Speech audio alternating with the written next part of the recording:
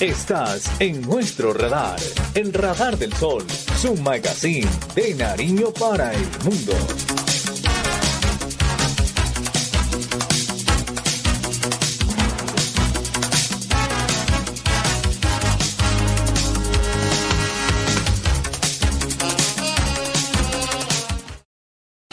Mucha atención que Johnny Fernando Delgado Montenegro, alcalde de los Andes Sotomayor, está en la mira por dos mil millones de pesos en sobrecostos de contratación de los dineros de Locat Paz.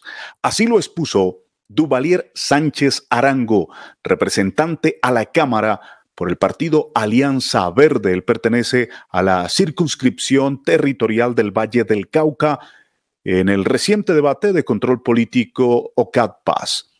El congresista describió cómo en su momento, pues los politiqueros en el país armaron todo un proceso para evadir, en primer lugar, la ley 80, aquella que, con, que coloca algunos parámetros para la contratación pública. Buscar también entidades mixtas para contratar estratégicamente a los aliados, a los amigos, a los grupos afines de estos politiqueros y especialmente del partido de la U y así manejar a su antojo los recursos de la paz, dio a entender el congresista. Esto fue lo que agregó Sánchez Arango sobre los sobrecostos en algunos municipios pues entre ellos se encuentra el municipio del departamento de Nariño, Los Andes, Sotomayor. Escuchemos con atención qué es lo que dice el congresista eh, en representación del Valle del Cauca. Yo no puedo afirmar aquí que la plata se la robaron. Lo que yo sí puedo afirmar es que hay unos sobrecostos evidentes. Inflar para robar se lo dejo a ustedes colombianos y a los entes de control. Revisamos solo tres contratos. El contrato de Pueblo Bello, solo en dos ítems de más de 13 ítems que tiene, solo dos ítems eh, de la materia prima que usaron. Hay más de 12 mil millones sobre costo. Entonces pónganle pues cuidado para que me sigan. El metro cúbico del pavimento de concreto hidráulico, el valor en el contrato, en el fondo mixto fue de 930 mil pesos. Nosotros hicimos un ejercicio de compararlo con los valores de referencia de Invías. Invías se dedica a hacer vías y ellos tienen valores de referencia por departamento. Y resulta que el mismo metro cúbico con los precios de referencia del Invías vale 467 mil pesos. La base, la subbase granular en el contrato de LOCAT vale 235 mil y con el precio de referencia del Invías vale el metro cúbico 87 mil. Solo en el contrato de Pueblo Bello, si lo hubiese contratado de manera transparente otra entidad a precios de referencia de otra entidad pública, hubiese costado 20 mil millones. Este contrato con el Fondo Mixto para la Promoción en Cesar, en Pueblo Bello, costó 40 mil millones. Entonces el sobrecosto no es del 10 ni del 12%, es del, ¿de cuánto? 50%. Vamos a otro. En Condoto, el sobrecosto es de 3.600 millones de pesos. En lo mismo, pavimento de concreto hidráulico, en el cemento está la plata, colombianos. Vale, en Condoto, 907 mil en el contrato del fondo y 510 mil a precios de envías. Y lo mismo en el municipio de Los Andes, en Nariño, sobre costos de 2 mil millones de pesos, con una gravedad. El anterior de Condoto termina en cinco días el 13 de septiembre.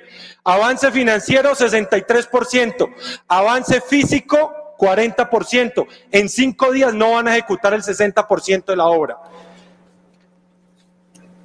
Bien, de el 87% de los municipios de Colombia son, son de categoría sexta, 965 municipios, con los 18 mil millones que hay de sobrecosto en estos contratos, esos 965 municipios podrían funcionar todo el año.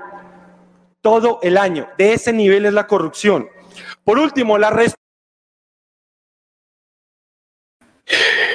Bien, ustedes lo acaban de escuchar. Una situación preocupante desde todo punto de vista.